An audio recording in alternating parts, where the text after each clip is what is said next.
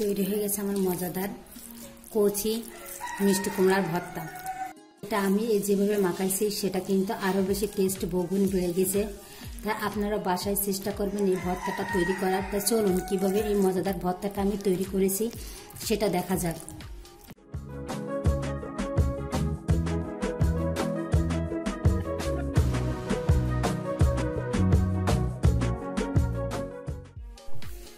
এই যে মিষ্টি কুমড়া, এগুলো জালি মিষ্টি কুমড়া। অনেকে হয়তো এই জালি মিষ্টি কুমড়াটা খাওয়া যায় না, ভেবে ফেলে দেন। আজকে আমি এই জালি মিষ্টি কুমড়াটা ভর্তা করব। তার জন্য আমি দুটো মিষ্টি কুমড়া নিয়েছি। এখন এটা পরিষ্কার করে ধুয়ে এই যে মিষ্টি কুমড়ো দুটো আমি ভালোভাবে ধুয়ে নিয়েছি। আবার পানির ভিতরে নিয়ে এসেছি আর একবার ধুবো। মিষ্টি কুমড়োর এখন আমি এই যে মুখটা ভালোভাবে কেটে নেব। এই মুখটা কেটে নিলাম। আবার এই পিছন অংশটাও কেটে নিলাম।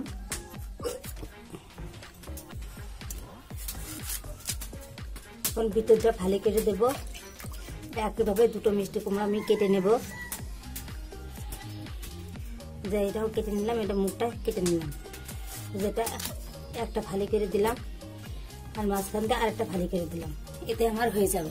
এখন এটা আমি আরেকবার ধুয়ে রান্নায় দিয়ে দেবো।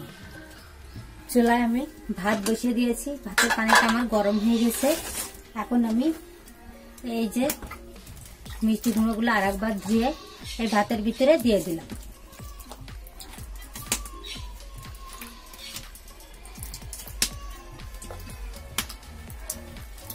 ভর্তাটা একটু আটলা হওয়ার জন্য আমি একটু কলা দিয়ে দিলাম। আপনারা এখানে আলু দিতে পারেন। আমি দুই পিস কলা দিয়ে দিলাম।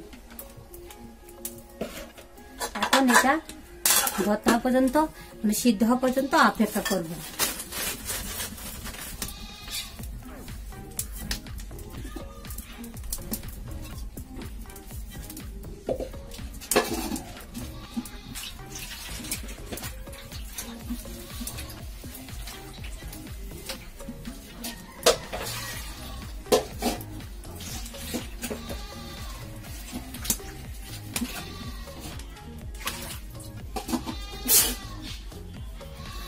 ভর্তা করার জন্য লাগবে আমার দুটো পেঁয়াজ, বড় সাইজের দুটো পেঁয়াজ নিয়ে নিয়েছি। পেঁয়াজ দুটো খোসা ছাড়িয়ে নেব।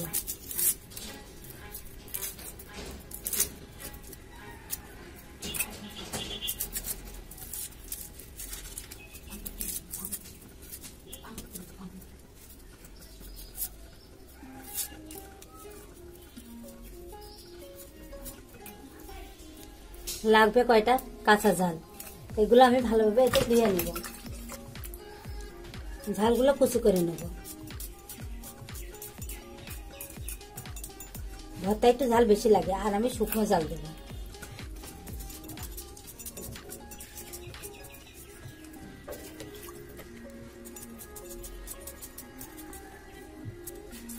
ঝালগুলো কুচি করে নিয়েছি। এখন পেঁয়াজগুলো কুচি করে নেব।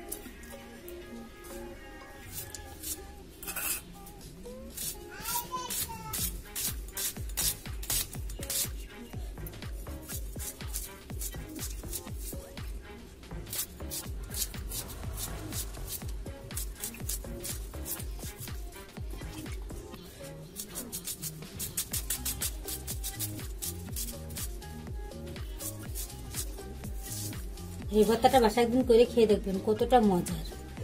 আমার পেঁয়াজটা কুচানো হয়ে গেছে। এখন এটা আমি রেখে দেবো এক সাইডে।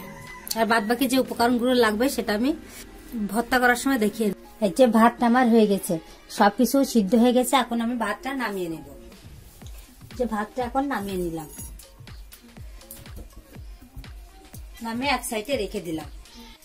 কড়াইতে কিছুটা পানি দিয়ে দিলাম, সামান্য পরিমাণ। এখন এই যে কিছুটা টুনা মাছ আছে আমার, এই টুনা মাছগুলো আমি এর ভিতরে দিয়ে দিলাম। আর কিছুটা পানি দিয়ে দিলাম।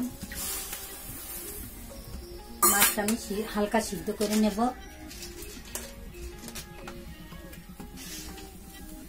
সামান্য লবণ দিলাম কেননা টুনা মাছ একটু নুনটা থাকে, এটা নুন মাছ। তার জন্য পানিটা, লবণটা একটু কম দিলাম, এটা আমি এখন সিদ্ধ করে নেব। এর ভিতরে কিছুটা রসুনের কোয়া দিয়েছি আমি। রসুনের কটা সিদ্ধ করে নিচ্ছি, এর ভিতরে দিয়ে আমি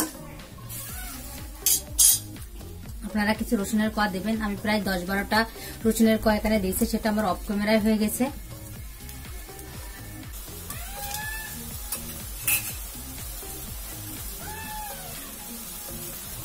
মাছের পানিটা একেবারে শুকিয়ে নিতে হবে, তা নাহলে কিন্তু পেঁয়াজ করবে।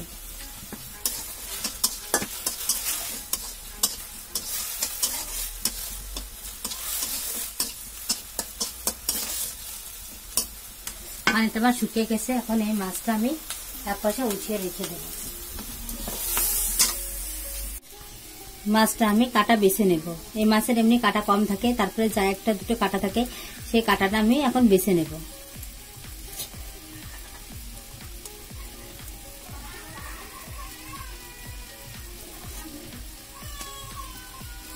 সবগুলো মাছের ভিতরে আর কোনো কাটা নেই, এই মাছে বললাম না কাটাই কম, তার জন্য কাটাগুলো আমার বাসা হয়ে গেছে। এখন আমি এটা ভাত এটা কড়াই বসায় দিয়েছি, কড়াইটা আমার গরম হয়ে গেছে, কিছুটা সাদা তেল দিয়ে দিলাম। কিছুটা পেঁয়াজ কুচি দিয়ে দিলাম ব্রেস্টটা করার জন্য। আর কিছুটা কাঁচা পেঁয়াজ পেঁয়াজটা লাল লাল হয়ে গেছে এখন। এর ভিতরে আমি এই মাছ আর রসুনগুলো দিয়ে দিলাম।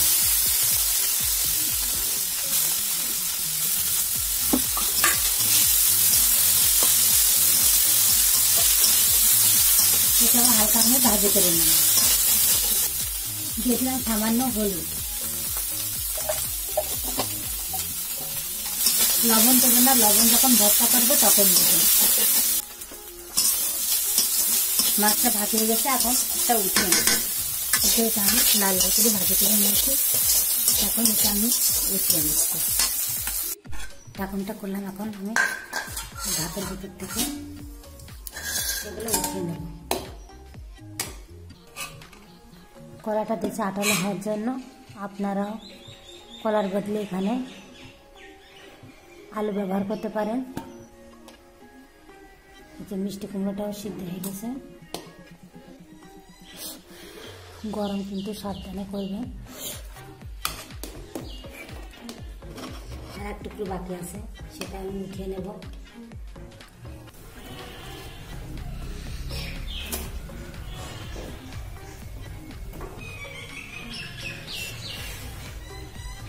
সবটা আমার উঠানো হয়ে গেছে এখন আমি ভর্তা করব। যে সবটা আমি উঠিয়ে নিয়েছি। আমার কাঁচা পেঁয়াজ আর কাঁচা ঝাল, লবণ, সর্ষের তেল, খাঁটি সর্ষের তেল। দেখেন তেলটা খাঁটি, লাল টকটক করছে। আর এই ভর্তা লাগবে আমার মাছের কিমা। আর লাগবে ধনিয়া পাতা এটা আমার ইন্ডিয়ান ধনিয়া। এই যে, এটা বলে বিদেশি ধনিয়া পাতা বাড়ি আঙ্গানে একটা গাছ লাগলে অনেক হয়ে যায়। সব সময় তো দেশিটা পাওয়া যায় না। আমি এটা নিয়েছি। রেখে দিলাম এক সাইডে। লাগবে আমার কিছুটা শুকনো জাল। ভাজি করা। এটা আমি খালি খোলায় মশ করে ভাজি করে নিয়েছি, যাতে ভিতরে বিচিটাও ভাজি হয়ে যায়, খেতে ভালো লাগে তার জন্য। এটা কীভাবে ভাজি করতে হয় সবাই হয়তো জানেন, তার জন্য এটা আমি আর দেখালাম না। এখন আমি ভর্তা মাখাবো। এই যে শুকনো জাল আর কাঁচামরিচ কাঁচামরিচ আর পেঁয়াজ আর শুকনো জালগুলো আমি এখন নেব। শুকনো জাল, লবণ।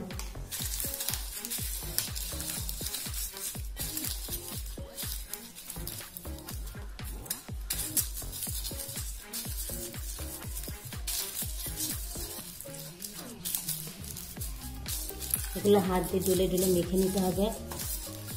হাত দিয়ে ডুলে ডুলে একেবারে ই করে নেবেন যতটা মাখানো ভালো লাগবে, ততটা খেতে ততটা মজা লাগবে। দেখেন, ঝালটা এত সুন্দর ভাজি হয়েছে যে হাত দিয়ে ডলা দিলেই কিন্তু গুঁড়ো হয়ে যাচ্ছে ঝালটা। দিয়ে দেবো ধনিয়া পাতা কুচি।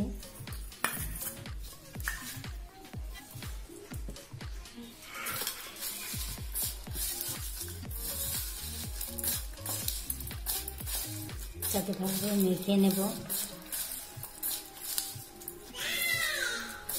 মাখানো হয়ে গেছে। এখন দিয়ে দেবো সর্ষের তেল। এই ভর্তা খাওয়ার জন্য খাঁটি সর্ষের তেলটাই ব্যবহার করবেন, তাহলে ভর্তার টেস্ট বহুগুণ বেড়ে যাবে।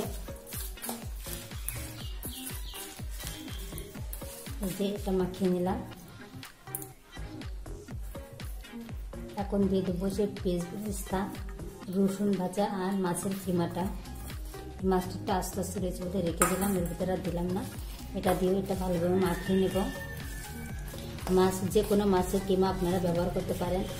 এই মাছের কিমাটা দিলে কিন্তু এর স্বাদ বহুগুণ বেড়ে যাবে। মাখানাটা যতটা সুন্দর হবে, ভর্তাটা খেতে ততটা মজা লাগবে, তাই ভালোভাবে এটা মাখিয়ে নেবেন এখন। দেখেন কতটা ভালো সিদ্ধ হয়েছে এটা। অল্প অল্প করে এটা আমি মেখে নেব এখানে।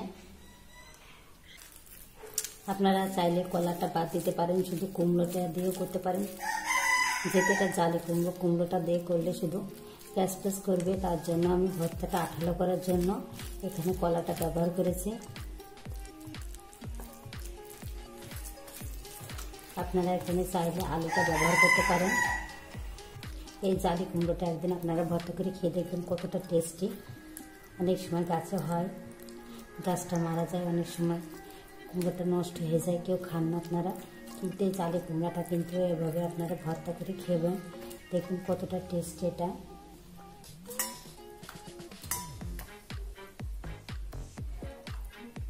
এখানে চাইলে আপনারা মাংসের কিমাও ব্যবহার করতে পারেন।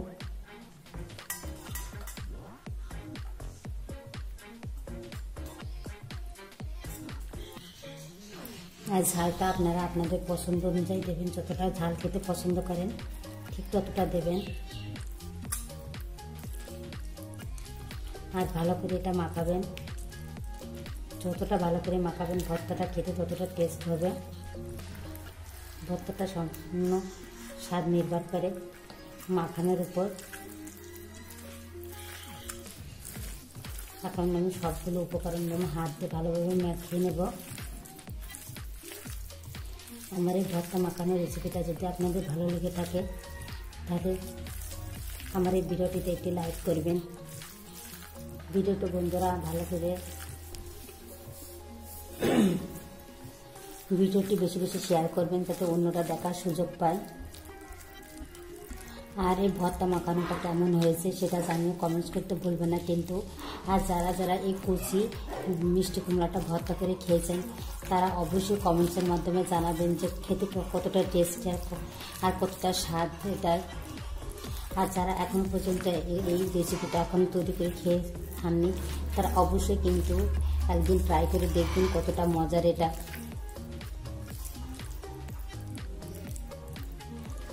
যারা ইতিমধ্যে আমার চ্যানেলটি সাবস্ক্রাইব করেছেন, তাদের অসংখ্য ধন্যবাদ। আর যারা এখনও পর্যন্ত আমার চ্যানেলটি সাবস্ক্রাইব করেননি তাদের একটা অনুরোধ রইল, অবশ্যই কিন্তু আমার চ্যানেলটি সাবস্ক্রাইব করবেন এবং পাশে থাকা বেল আইকনটি চালু করে দেবেন। এতে করে আমার দেওয়া সুন্দর সুন্দর টেস্টি টেস্টি রেসিপিগুলো আপনারা সবার আগে নোটিফিকেশনের মাধ্যমে পেয়ে যাবেন। সবাইকে অসংখ্য ধন্যবাদ।